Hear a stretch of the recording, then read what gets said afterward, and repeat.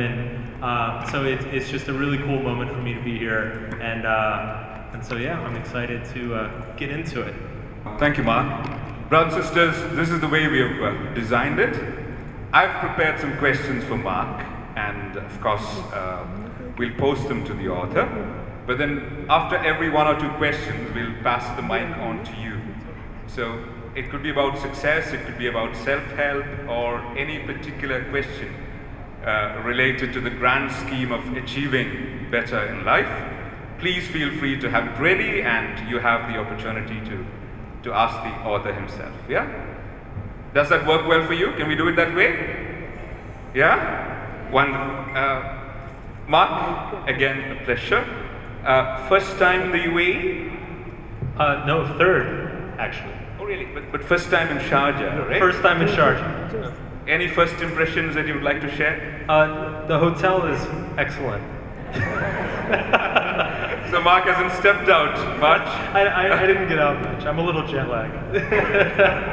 the weather is just beginning to get better, so I hope and pray you'll get some time to, to enjoy Sharjah weather. I, I was told this is cold for here, so. uh, we would wish, uh, I think winter's a bit late this year, but then we, we hope and pray that it extends a little longer, yeah. You've tried the local cuisine? Oh, yes. Oh, really? Wonderful. Love it. Wonderful, yeah. Um, ladies and gentlemen, this question might, the, the, the, way it is framed might, might sound a bit odd, but I've just picked it from Mark's uh, uh, blog directly, okay? So this is the way the question is posed. You write, it's a bit condescending, you write things that contradict a lot of the popular life advice and self-help out there. What's your problem, bro? That's way the question is, yeah? um, you know, I, I, I grew up reading a lot of typical self-help. It was a big part, my, my parents were into it. Um, I started reading it as a teenager, and, and especially in the, in the United States, conventional self-help advice, you know, always think positive, always follow your dreams. Uh, thing, things like this, they, they're very much a part of the culture. And I think by the time I was in my mid or late 20s and, and writing myself, I, I was a little bit disillusioned with all, all of it. I, I felt like, uh, you know, it, it, it, was good advice to accomplish maybe a goal in the short term, but in terms of putting yourself on the right trajectory to live a meaningful life long term or to have meaningful commitments and relationships long term, uh, I found a lot of it to be counterproductive. And I actually found myself in, in, in a place where it was making me more unhappy. You know, it was chasing all these constant goals and dreams all the time. It was taking me away from the things that were right in front of me, the people that were right around me. Uh, and so I, I kind of had this philosophical investigation of a lot of my assumptions and a lot of the things that I had gotten from these books that I read. And the conclusion I came to is that if you have a poor definition of success, it doesn't matter how good your habits are, how early you wake up in the morning, how hard you work every day. If your definition is poor, then you're going to end up in a, in a bad place. Um, and so until that definition, until you get a good definition of what success is, what happiness is, what a good life is, uh, all the all the other stuff is is either irrelevant or even counterproductive. And so I wanted to, with my work, I really wanted to restart the whole conversation of what self-help is and, and restart it from that starting point of okay, let's get a definition of for ourselves of like what is important and what what does matter. Then we can worry about all the life hacks and stuff like that. Oh, wonderful. I'm reminded of what Stephen Covey said, where you could be climbing a ladder, but then halfway through you realize that the ladder is leaning against the wrong wall. Exactly. So you could be making progress, you, you could be getting ahead, but ultimately the question is, is this what you really want? yeah. Um, that would be quite a realization. I've been doing all this and ending up getting the, the wrong goals. Yeah, yeah and, and also I'll say too that once I got involved into the self-help and personal development industry, I started to notice a tendency that a lot of companies or influencers or gurus or whatever, they were they weren't solving the problem. They were selling things that made people feel good, but they didn't actually address any issues, you know? Uh, and again, it kind of comes back to this, there, there wasn't this differentiation between feeling good and actually being good. You can be in a very good place in your life, but feel terrible. Uh, and you can also feel great, but also and have a completely meaningless, pointless existence. So uh, for me, like that, understanding that differentiation of like, oh, you know, just because I feel good doesn't mean I'm actually doing anything good with my life. Uh, that was a, a, big aha moment. Uh, and, and one of the things that I'm very critical of the self-help industry about. I'm, I'm so happy you mentioned it, Mark. I can see a lot of youngsters in the audience. Can you put your hands up for us, please? All the students in the audience? That's almost 20%, yeah? I, I wanted to ask a question on your behalf, yeah? As a parent too, I've got two kids. Uh, the new generation, Mark, uh, we often hear them saying, it's all about happiness, yeah? Do I really have to work hard at school? Do I really have to take a conventional job? Uh, at the end of the day, if I'm happy, I think that's the way it is. So, dear parents, don't push us hard. Focus on our happiness instead. So, something that you said uh, which was you could be happy, but you could be in a terrible place. Yes. Uh, for the long term. Uh, but then you could be really struggling, but probably that's good for you. So, any particular advice to our young enthusiasts over there uh, with respect to studying and setting goals and getting ahead? I, I think I think the best advice. I mean, I, when I think back to myself when I was in school, the, the advice that I wish I got. Because it, when you're young, you tend to get two types of advice. One is what you just said, which is like, oh, just be happy, like follow your passion, do what you want. Uh, and that can get you into a lot of trouble. And then there's this other advice, which is, is like, just you have to get good grades and you have to study and you have to do perfect on your tests and there's no explanation why. It's just like, this, this is what your existence is for. And I never liked that either. I'm like, hey, why, why do I need to do good in school? Uh, what I would say is, I, I think to anyone young here, I would say pick good challenges. Pick challenges that feel important or worthwhile to you. Um, and that can be within school, that can be uh, in a hobby, that can be um, you know, in your relationships with family members, but pick, find something in your life that is challenging, that, that causes you to struggle or sacrifice, but it feels worth that struggle or sacrifice. Uh, and ultimately, learn how to make that decision for yourself, because that is, in my opinion, one of the most important skills, is to decide what is important and worthwhile. Oh my God, I think, yeah, please, yeah.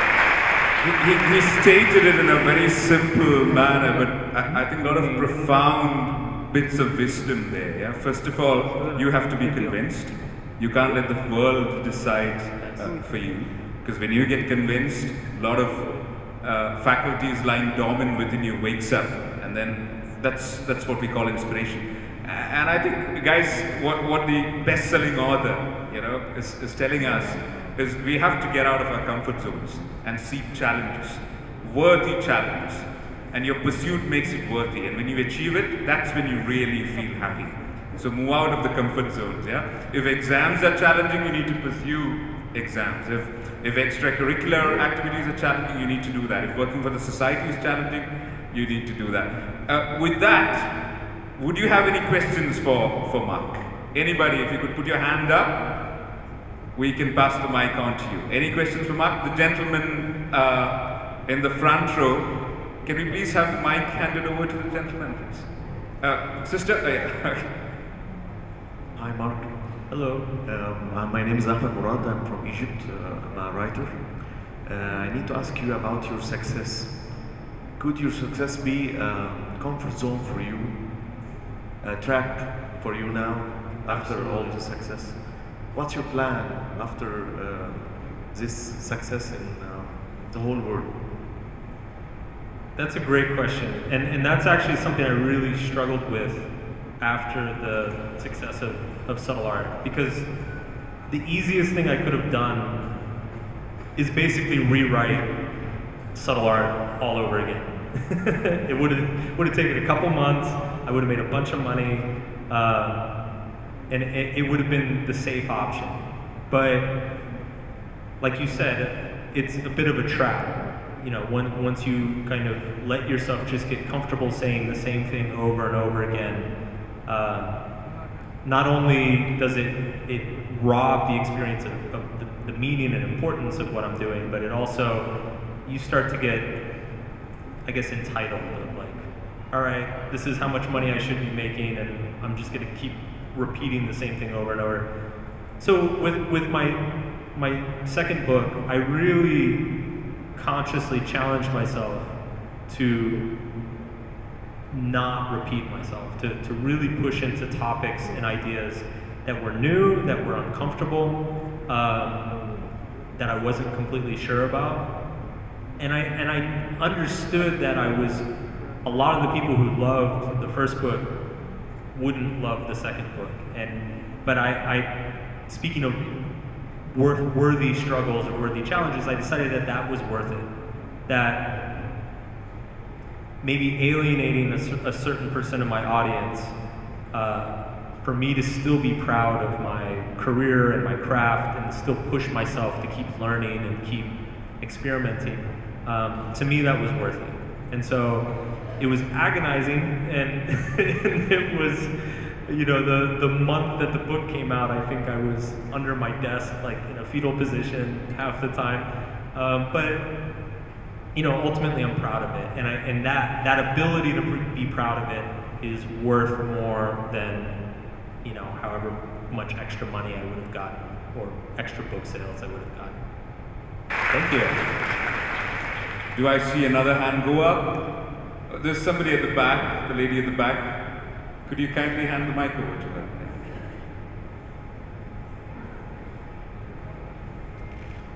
Hi, uh, so my name is Afreen and I work for Procter & Gamble and uh, we have this mentorship program there where you uh, select a mentor who sort of guides you on your career and life in general.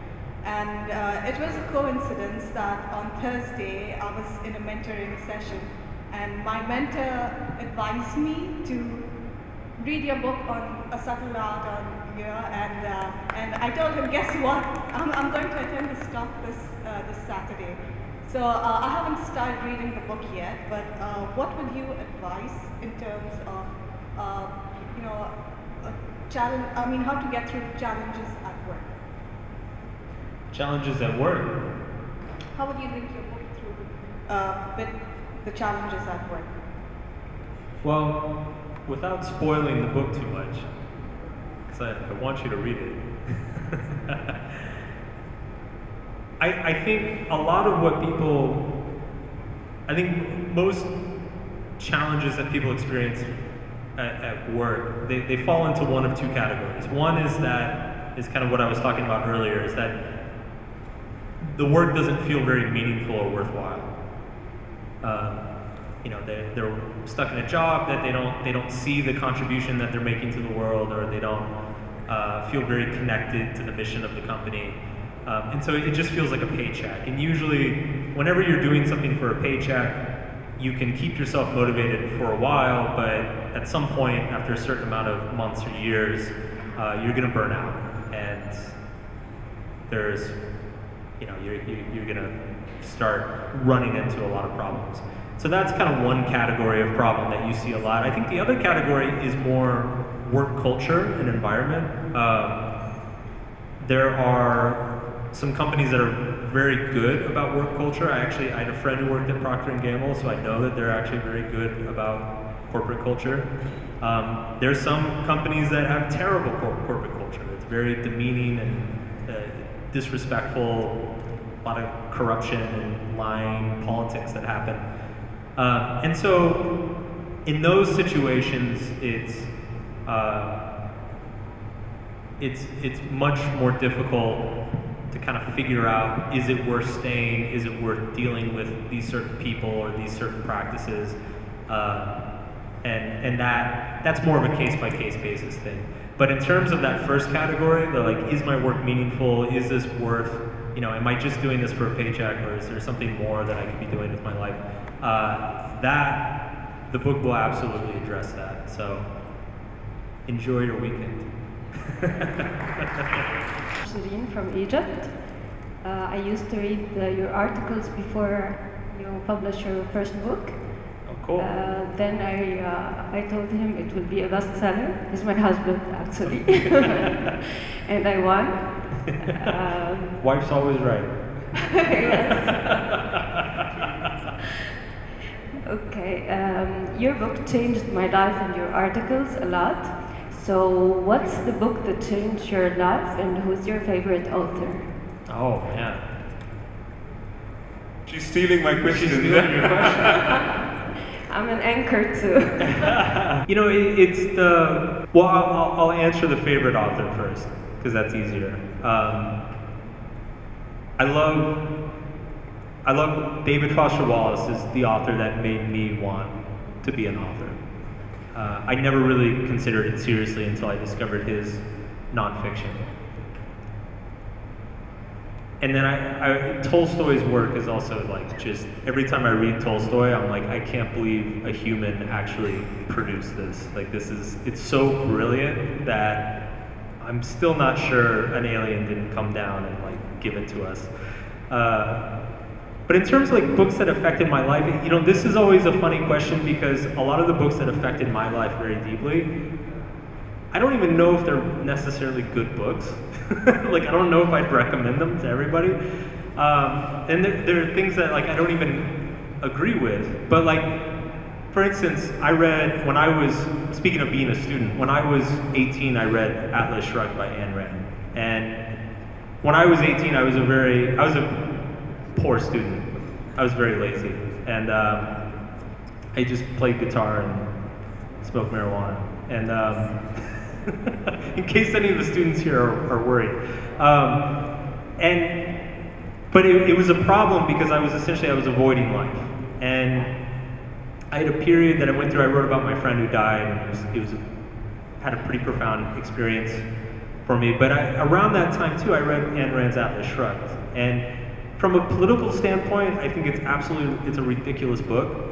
But there was she has these like monologues in the book, these like 20 page monologues where the characters talk about how the to not utilize your talent is like an ethical flaw. Like you are harming the world by not contributing to the planet. That you are actively hurting yourself and others if you are not uh, being as productive as you can possibly be.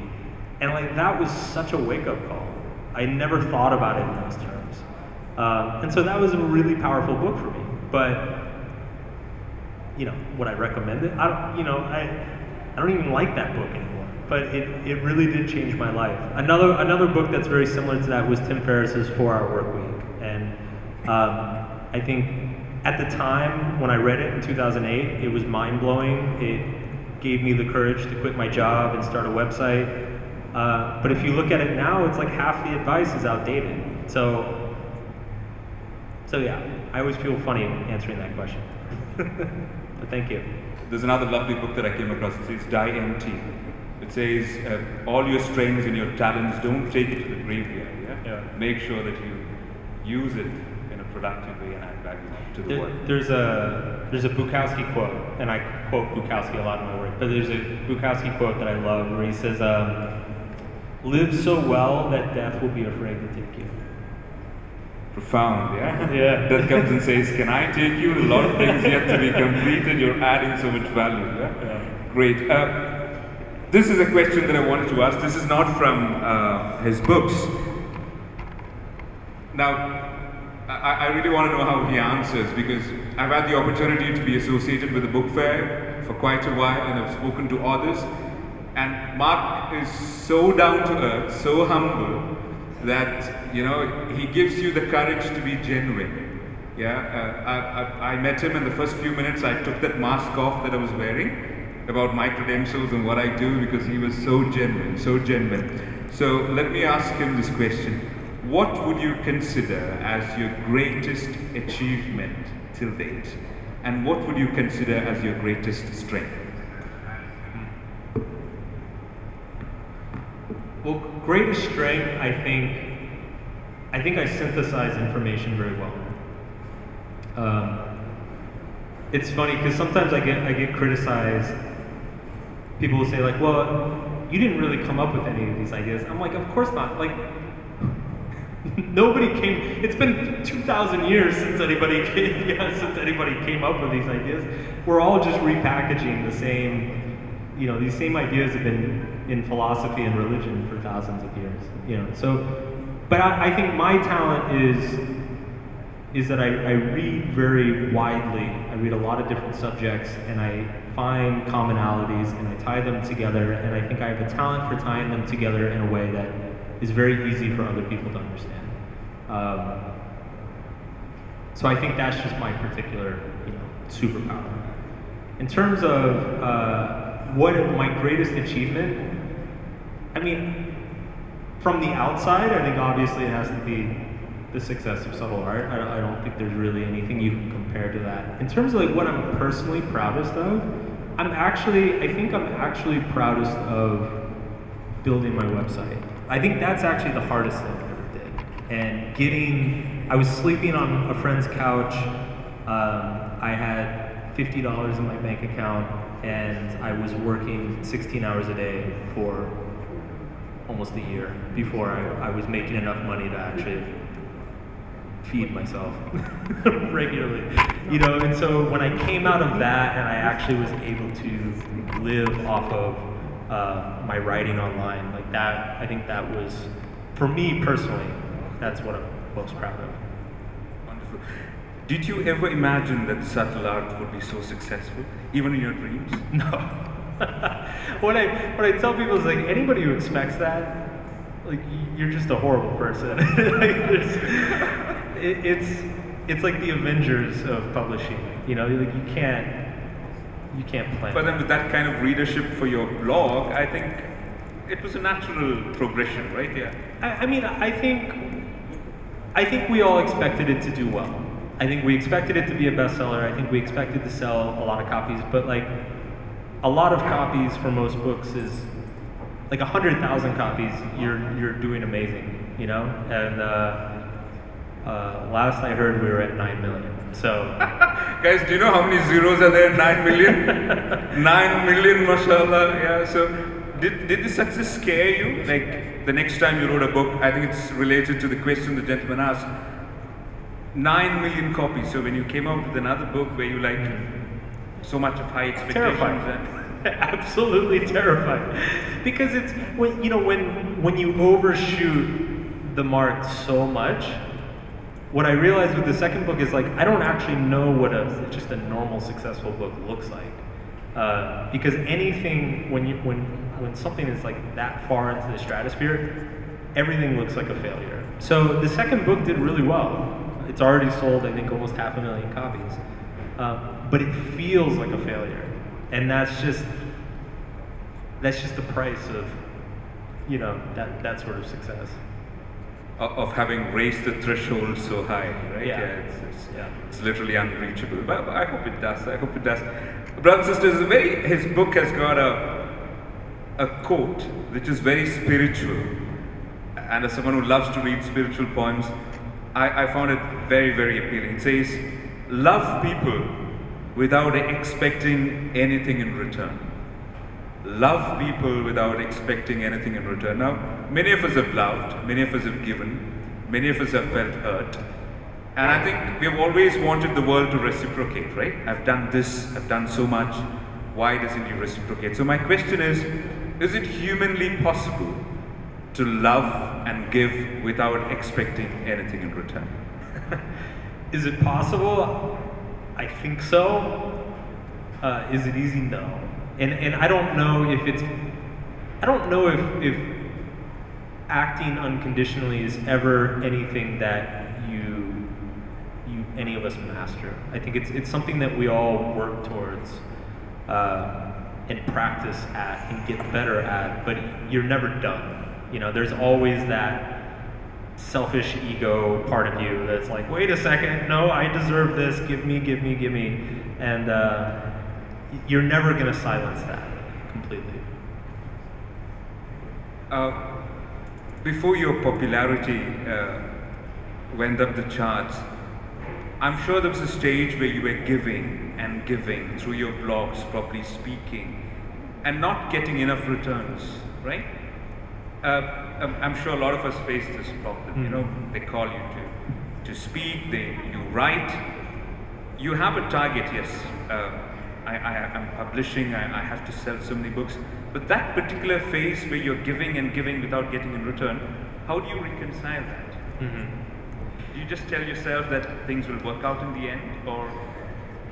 You know, I, I one thing I, I wrote an article recently about this, but I, I actually think I try to let go of the idea of, deserving at all. I don't know what I deserve. And, and yeah, early in my career, I, I gave and I gave and I gave, and I felt, yes, I did feel like I wasn't getting as much back as maybe I deserved. Um, recently, the last couple of years, I feel like I'm getting way more back than I deserve. you know, sometimes I look around, I'm like, you know, I don't need all this. Like, this is, thanks, but the book wasn't that good. But it, it's, you know, the world's not fair. And and our, our, our perceptions are also very limited in terms of the scope of time that we are capable of thinking about. You know, maybe, maybe something that feels very unfair today ends up three years from now being really good for you you know maybe maybe you it teaches you a lesson that was really important and you needed you needed to feel that it was unfair for you to get to that new place. Uh, you just you never know. And so whenever i find myself feeling like that i just try to let it just drop it. Like, i don't know what i deserve. You know it's like we all we all get cheated a little bit in life and we all get rewarded a little bit in life. And I, I just try not to think about it too much SubhanAllah, I, I hope we are, this is sinking in. I think what Mark is saying is, let's say we are, we are in a relationship and we are giving. Yeah, I'll come to you, sister. We're, we're, we're giving and we're not getting anything in return. We have to let go of that need to get something in return immediately. So by asking a question, you know, I don't know what I deserve. And probably wait with sabr. And I think at some time in the future, uh, our fortunes change and the thresholds change and then when you get it back, I love the way he said it, the book is not that good. Oh my God, it is good. It sold 9 million copies. But then at some time, the tips turn in our favor and it all comes back. So we just have to give and have sabr. So I, I think the lady is getting quite angry at me. Uh, yes, please. Thank you. I've been told that you have to choose me in order to ask a question. That's why I'm like, you know, here. It's, it's, it's a pleasure, sister. Please. Thanks. So, um, Mark, uh, thanks for being here. It's my pleasure to attend your um, uh, panel. I've read your book. I've read it so many times. Uh, it's helped me a lot. I have two questions. First of all, um, we live in the Middle East where uh, culture is a very strong component of how we, um, how we perform. So we get, we get evaluated and judged based on standards that we were born on in terms of how successful you are in your job, how much money you have, are you married, do you have kids, and all these standards that if you don't live by them, then you're a failure. Um, for someone like me, I was born here. Uh, my name is Rasha, by the way. I'm Palestinian. I was born in Dubai, lived all my life in here. I traveled the world. And the challenge that I have here is how can I uh, be happy even though the whole world is looking at me by maybe saying she's in a terrible place because, you know, I'm not in that place where I'm so successful yet. I could be, but I don't want to. So what is your advice for someone, for the Middle East people who has to abide by certain rules, otherwise, you know, like you're someone who's, you don't belong which gives me the thought of maybe I need to migrate to another part of it. That's my first question. The second question is, when I see your interviews where you said meditation helps you to be, um, you know, to have a clarity of mind, at the same time, your book says that you're against these things that makes people feel good about themselves. It's a bit confusing for me because a huge part of the meditation says, I'm beautiful, I'm smart, you know, like makes you feel good about yourself and it helped me somehow to feel good about myself. But at the same time, I don't want to be in that fake place of thinking that I'm, I'm beautiful, but reality is I'm not, as an example. Mm-hmm. So these are my two questions. I have a lot, by the way, but I'm not sure if asking, if asking more questions in front of young audience is right, to be honest with you, because the book is so deep that we have so many questions that I don't think having young adults is the right thing. So that's my comments to organizers. Thank you. okay. Um, well, I'll, do my best with this. I, I think the second one's a little bit easier. Um, you know, I, I, I don't, I get asked about affirmations a lot. You know, affirmations are, is the classic self-help practice of telling yourself, I am smart, I am beautiful, I am loved. Um, and, it, and it does make you feel better in the short term. I don't think there's necessarily anything wrong with affirmations. I think you just need to be realistic about what you're doing, which is you're, you know, you're, you're, it's a short-term solution. It's not going to solve any sort of underlying insecurity. You can stand in the mirror and tell yourself that you're smart for years, and, and it's unless you actually like address what what the identity level issue is, it's you, you're, you're just keep putting a new band-aid on the same cut over and over and over again. Um, the first question, that's hard. I can I can answer it in a broader philosophical way, but I don't I don't think I'm going to be able to answer it satisfactorily for you. Uh, one, because I'm a man who lives in the United States, um, and so I don't. I mean, we all face cul- cultural judgment and cultural pressures, but I don't experience it nearly to the extent that, say, you would experience it, or a lot of people in the Middle East would experience it. Um, so I just I put that preamble out there because I think what I what I am gonna say I, I do believe it's true, but uh, it's also easy for me to say. So because I don't know ex- exactly what you go through or the, the, the extremity of what you go through. Um, in terms of cultural pressures, I mean it's hard. You know, I, I think it's in a perfect I, I, think there's a little bit of an illusion in the world today. Like people just want to. I, in fact, I think one reason my book has sold nine million copies is because like most of the people who bought it are like, yeah, I don't want to care what my culture thinks anymore. I want to just be able to do what I want and be the person I want to be and not feel bad or feel guilty or be judged for. And I get that desire. Like I have that desire. I think everybody has that desire on some level.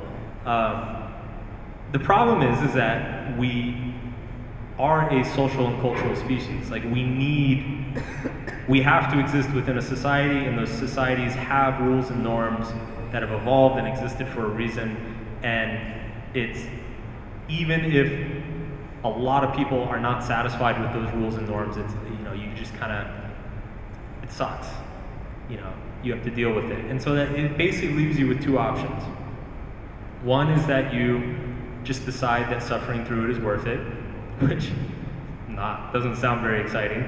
Uh, and two is that you can decide to try to influence it in some way, to try to turn make it meaningful. And that tends to be my advice in these situations.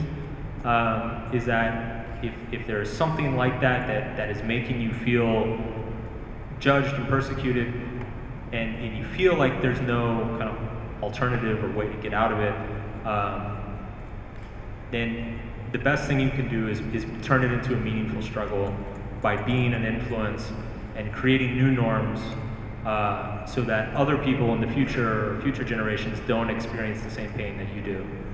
Um, again, easy for me to say, and obviously that process or the, the how realistic that is is going to vary from culture to culture and country to country. Um, so, you know, I, I, I'm, I'm realistic about that. But in terms of an answer, I think that's, that's the best I can do, you know? It's hard, and I, I sympathize with you. Um, and I wish I could say something that'd be like, ah, that's it, I'll go do that, you know? But it's, world's a rough place. Uh, I've, I've been reading a lot about the about affirmations and the research behind it. And, and uh, sister, if I could add any value, I think what it says is if, let's say I'm conscious about my looks, okay? And then I stand in front of the mirror and I say, I look like George Clooney. Ibrahim, you look like George Clooney. You look like, I don't think it's going to work, yeah? Because deep down, I know uh, I look better than George Clooney. Anyways. Yeah. The question is, I can still focus on my strengths. Ibrahim, you're a, you're a warm and friendly person. Ibrahim, you're a good learner. So let's say you've got some bits and pieces hating you for your, for your weaknesses. Instead of coming up with affirmations against them, you can constantly remind yourself of your strengths, and that sort of counterbalances the equation. So that's a good strategy. Uh, any aspiring, any published authors in the audience?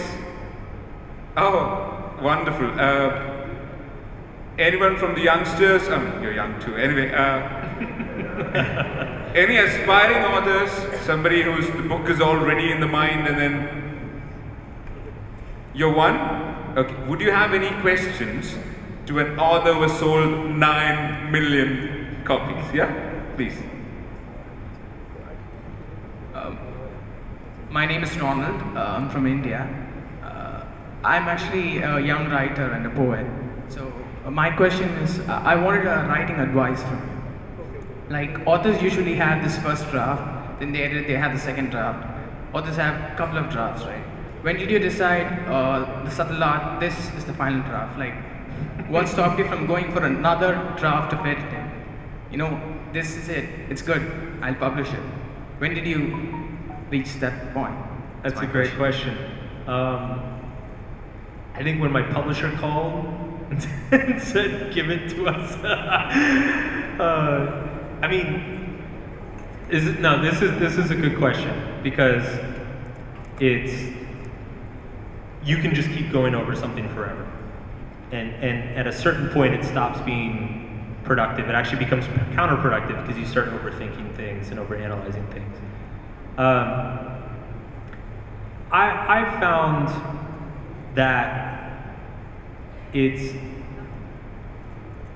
so there's certain like typically like say the first or se- like the first revision or the second revision you it's very obvious that you're making the text better.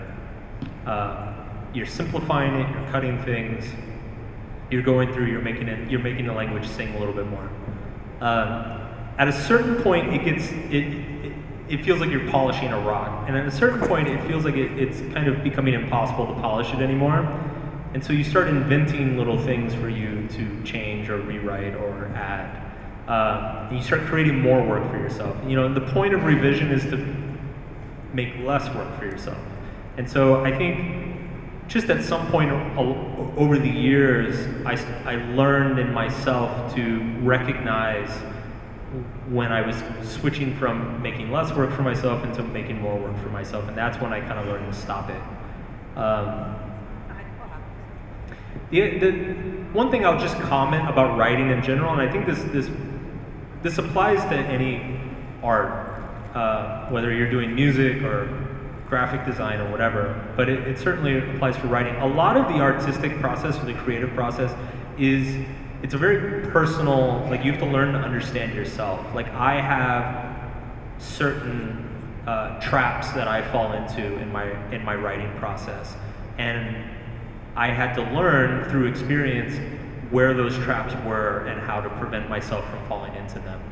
You know so different writers they learn okay you know some writers they just set like i do five drafts and that's it.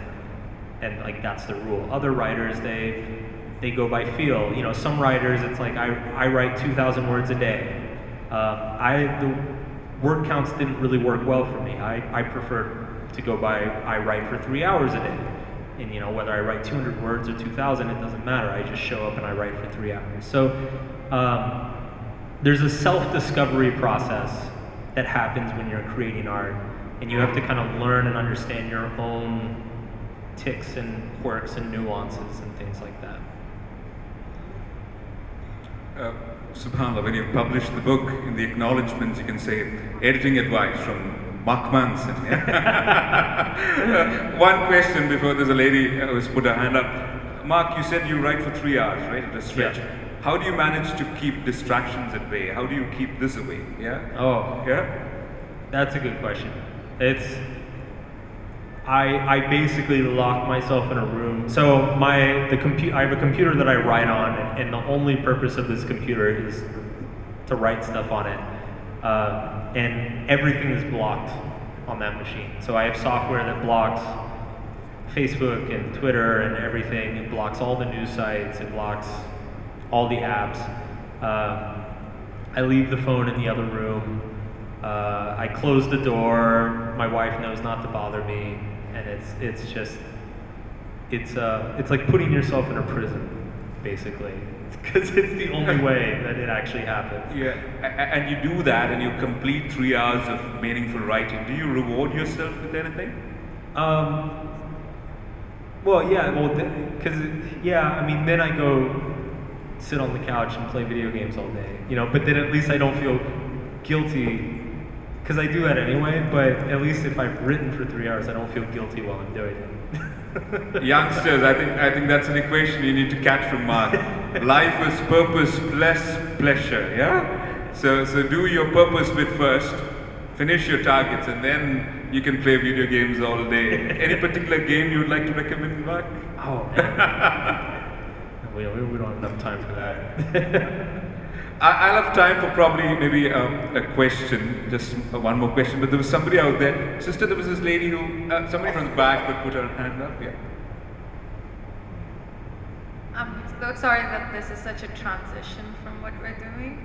Um, if you never became a writer, what was your backup plan? What would you be doing right now if you never became a writer? What would I be doing? I have no idea, but I went to school, I studied international business and finance. Uh, I worked for two months in a bank and I hated every second of it, so I would never go back to that. Um, originally, when I was a teenager, I wanted to be a musician, and I actually I went to music school for a year. Um, so that music is still my first love. It's still my creative home, I think.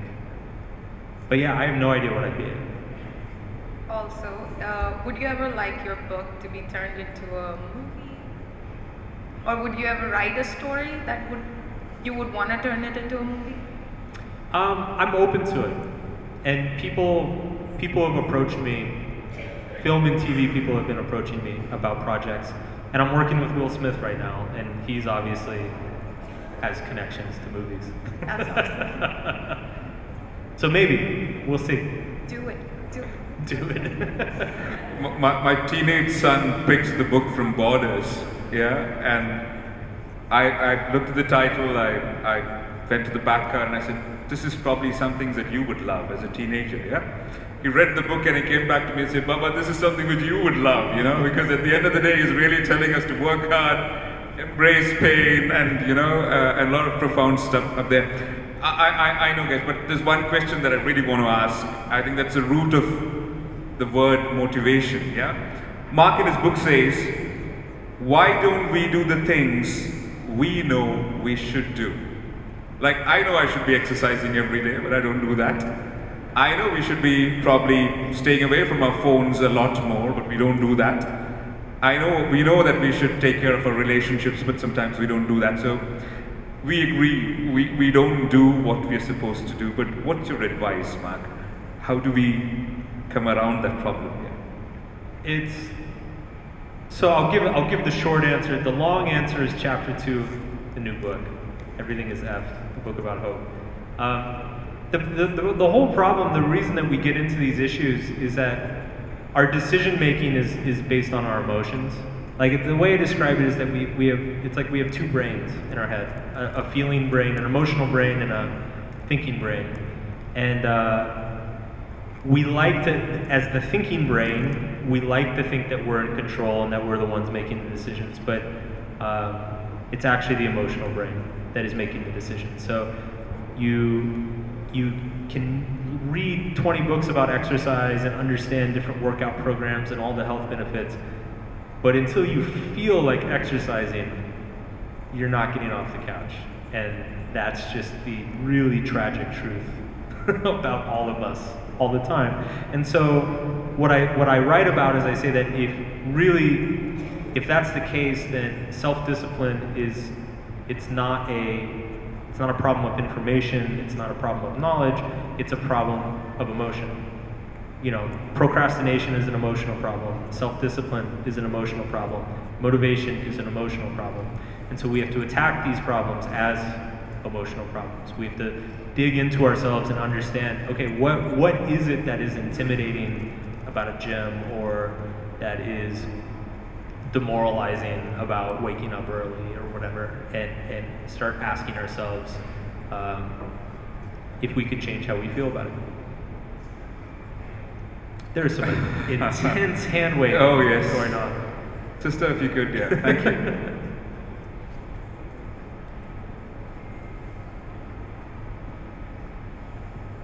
Hi, my name is Bushra.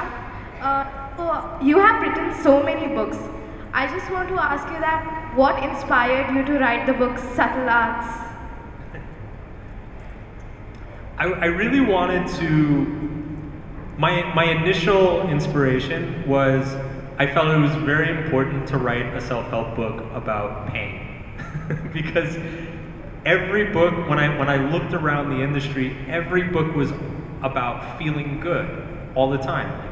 Do this and you'll feel great. Do this and you can be happy. And I was like, that's, that's nonsense. Like, life sucks. So, like, let's write a book about that. And, um, and so that was my goal. Is it, I thought of it when I was writing it. I thought of it as like a like kind of a negative self-help or an anti-self-help. And um, and so my goal was to go like as he pointed out, I wanted to go against all the conventional advice, but I, I also still wanted to give really useful advice. Um, and and just the fact that it caught on so well is amazing. I never expected it. So Thank you.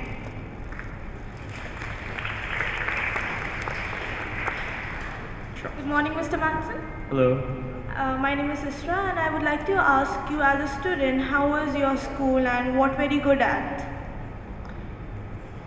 You know what's funny? I actually I got bad grades in writing class. Oh. so much for our testing standards, yeah? I actually thought about when when the book became really successful. I actually thought about sending a copy to my to my writing teacher uh, with a really snarky comment in the front or something. And I was like, no, that's petty. Um, you know what's funny? I was good at I was good at math. Whoa. Uh, no, seriously, I was good at math, and and my I come from my whole father's side of the family is are engineers, and um, and so just numbers. I can do number. I can do calculations in my head pretty easily, and um, so I always did well in, in math. But when, when I look back, the, the issue with writing and language, it wasn't it wasn't that I was bad at it. I think I'm actually much I'm a much better writer than I am, you know, with math or science. The problem was is that I just I never did homework, and and so when I came to school, I could figure out the math problems because there's only one correct answer. But if you didn't do the homework or you didn't read the book, you can't fake an essay. Like you can't fake a writing assignment.